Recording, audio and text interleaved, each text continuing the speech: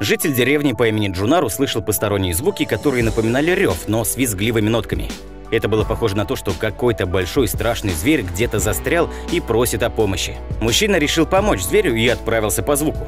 Вскоре он наткнулся на большую яму, в которой лежал леопард. Смотрите видео до конца, и вы узнаете, что было дальше. Всем привет, меня зовут Роман, и вы на канале Я в шоке. Власти города для потребностей сельского хозяйства повсюду ставят большие бетонные колодцы, но обслуживать их должны только коренные жители. Но, как показывает практика, жители делают это небрежно, и в итоге в такую громадную яму может провалиться даже человек. Потому неудивительно, что один из таких колодцев стал ямой смерти для леопарда, который нуждался в помощи человека. Бедный леопард сидел на глубине 20 метров, и у него не было ни одного шанса выбраться оттуда самостоятельно. Из-за большого количества рисовых плантаций, которые устраивают местные жители, дикие животные вынуждены жить на окраинах полей, поэтому очень часто попадают в такие ужасные ловушки. Ведь на колодцах зачастую нет ни крышки, ни сетки, чтобы обезопасить животных от верной гибели.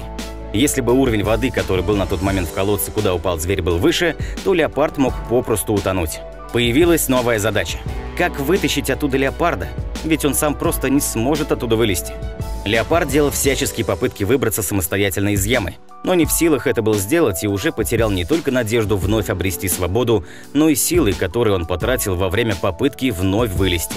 Мужчина решил сообщить о своей странной находке местным жителям, так как животному становилось все хуже, а самостоятельно Джунар не мог справиться с поставленной задачей – освободить леопарда.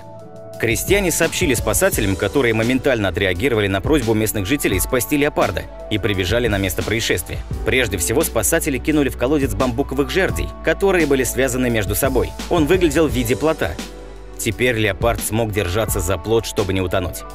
Но спасатели опасались, что когда начнут вытаскивать зверя, он может кинуться на них. Ведь все-таки хищник, который не испытывает ничего хорошего к людям, а расценивает их как очередную добычу.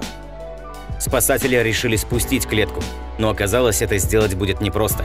Во время спуска клетки она столкнула леопарда из-за того, что раскачивалась, и хищник вновь упал в воду. Леопард из последних сил забрался на плот. Клетку наконец-то удалось спустить, и хищник покорно залез в нее, так как понимал, что другого выхода для спасения не будет. Наконец-то леопард был спасен и отпущен на волю.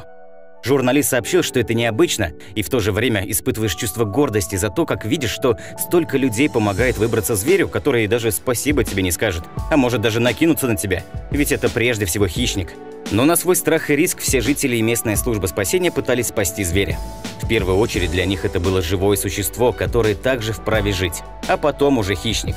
Ведь жители могут попросту забить животное камнями и после вытащить его, чтобы насладиться вкусным мясом после его приготовления но не сделали такое. Этот поступок заслуживает должного уважения. Но, к сожалению, никакие ограды не строятся, чтобы животные впредь не попадали в такие ловушки. Возможно, в скором времени жители все-таки придут к тому выводу, что нужно построить ограждение для своей безопасности и безопасности животных, которые часто попадают в такие капканы-колодцы. Ну а я в свою очередь хочу сказать спасибо вам за то, что посмотрели видео до конца. Если оно понравилось, вы можете смело подписаться на наш канал и смотреть другие интересные видео. Всем хорошего дня!